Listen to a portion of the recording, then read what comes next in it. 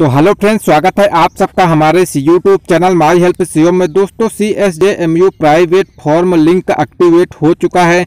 तो private form ऐसे भरे, आपको स्टेप बाय स्टेप बताऊँगा। साथ ही प्रोमोट रोल नंबर आपको कैसे मिलेगा, जो वहाँ पर रोल नंबर का ऑप्शन आता है, आपको रोल नंबर कैसे पता चलेगा। जो फ़र्स्ट ईयर का आपके पास रोल नंबर नहीं है तो आप फॉर्म को नहीं भर सकते हैं।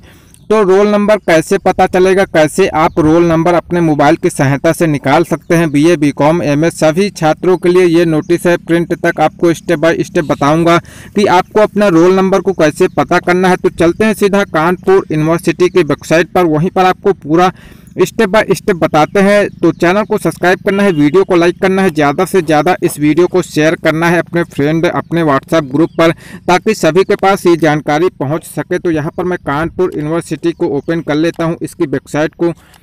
तो यहाँ पर मैंने कानपुर यूनिवर्सिटी की वेबसाइट को ओपन किया है। उसके बाद आपको यहाँ पर आपको गूगल पर टाइप करना है C S J M U dot A C dot in तो आपके सामने ये वेबसाइट आ जाएगी।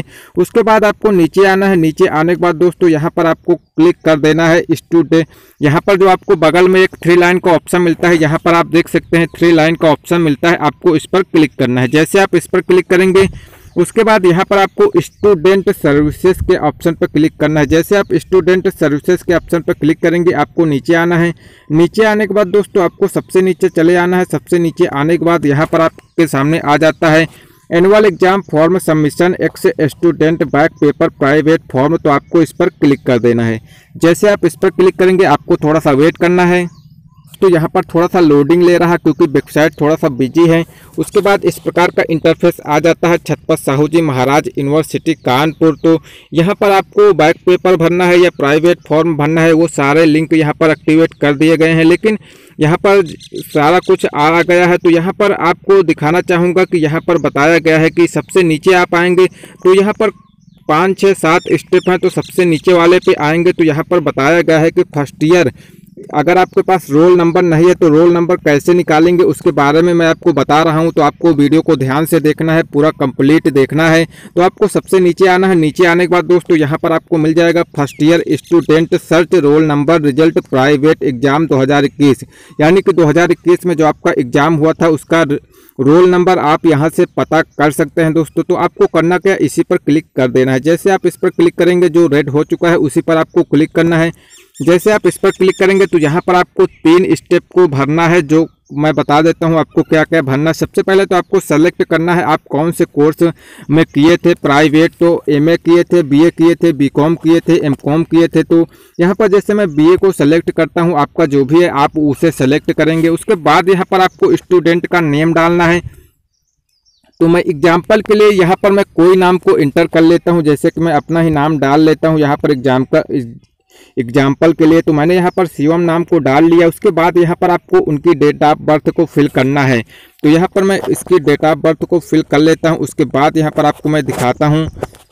तो यहाँ पर मैं date of date of birth को फिल कर लेता हूँ। उसके बाद यहाँ पर आपको मैं बताता हूँ क्या करना है आपको।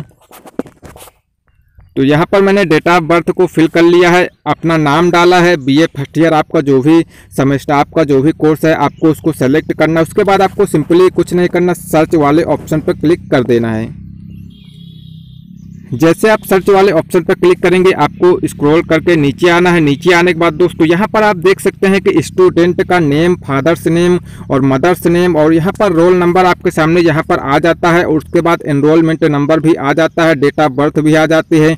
यहाँ पर सारी डिटेल आ जाती है तो यहाँ से आप इस, इसका रोल नंबर को कॉपी कर लेना है। तो यहाँ पर आपको इसको एक बार होल्ड करना, उसको एक बार से इसको कॉपी कर लेना, इस रोल नंबर को कॉपी करने के बाद दोस्तों, या आप इसे कहीं पर नोट भी कर सकते हैं, आपको बैक आ जाना है।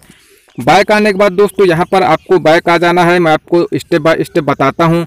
बैक आने के बाद दोस्तों, अब आपको करना क्या है, यहाँ पर आप प्राइवेट में, यहाँ पर फॉर्म को भरने वाले हैं। तो online application for private exam 2000 form submission तो आपको सेकंड वाले पर क्लिक करना है। जैसे आप इस पर क्लिक करेंगे फ्रेंड्स इस पर क्लिक करने के बाद दोस्तों आपके सामने इस प्रकार का इंटरफेस आ जाएगा। यहाँ पर आपको एग्ज़ाम टाइप करना है, यहाँ पर एनुअल एग्ज़ाम करना है। उसके बाद यहाँ पर आपको करना है एनुअल एग्ज़ाम के बाद आपको प्राइवेट सेलेक्ट करना है। प्राइवेट सेलेक्ट करने के बाद आपको यहाँ पर कोर्स नेम आप जो भी डालना चाहते हैं, जैसे मैं एमए का सेलेक्ट करना चाहता हूँ, उसके बाद यहाँ पर आपको ये सारा कुछ फिल करने के बाद आपको अपना पार्ट को सेलेक्ट करना सेकेंड सेलेक्ट करेंगे एम एस सेकेंड उसके बाद ये सेलेक्ट करने के बाद आपको अपना 2021 में कौन सा फॉर्म आपने 2021 में पास किया था फ़र्स्ट ईयर तो आपको इसको 2021 सेलेक्ट करना है। उसके बाद 2021 में इसके बाद आपको वो रोल नंबर यहाँ पर इंटर कर देना है। इंटर करने के बाद दोस्तों, आपको फिर से यहाँ पर अपना जो भी पास किए थे, प्रमोट हुए तो 2021 को फिर से सेलेक्ट करना है। उसके बाद आपको फिर से यहाँ पर रोल नंबर को पेस्ट कर देना है। उसके बाद यहाँ पर आपको अपना मोबाइल नंबर को एंटर करना है। मोबाइल नंबर एंटर करने के बाद जैसे ही आप सर्च के ऑप्शन पर क्लिक करेंगे, आपके सामने पूरा यहाँ पर स्टेप आ जाएगा। तो यहाँ पर मैं सर्च के ऑप्शन पर क्लिक कर देता हूँ। देख सकते हैं दोस्तों, जैसे मैंने यहाँ पर सर्च के ऑप्शन पर क्लिक किया हूँ इनवाइलेड स्टूडेंट डिटेल बता रहा है। यहाँ पर मैंने एग्ज़ाम्पल के लिए आपको सिर्फ़ बताया है, इधर से इधर उधर से कुछ भी टाइप कर लिया है। क्योंकि मैंने सही सही जानकारी को फिल नहीं किया है क्योंकि मुझे मेरे पास किसी भी स्टूडेंट की डिटेल नहीं है तो यहाँ पर मैं कैसे यहाँ पर जानकारी को फिल करके आप सभी लोगों को बताऊँ? तो यहाँ पर एग्ज़ाम्पल के लिए मैंने आपको ये सब बताया है। तो यहाँ पर आप सही सही से फिल करेंगे तो आपको पूरी जानकारी वहाँ पर मिलेगी। तो आज की इस वीडियो में बस इतना है दोस्तों। वहाँ पर आपको उसके बाद कुछ और स्टेप हैं, उनको फॉलो करना होगा। उसके बाद आपको पेमेंट वहाँ पर पे करना होगा।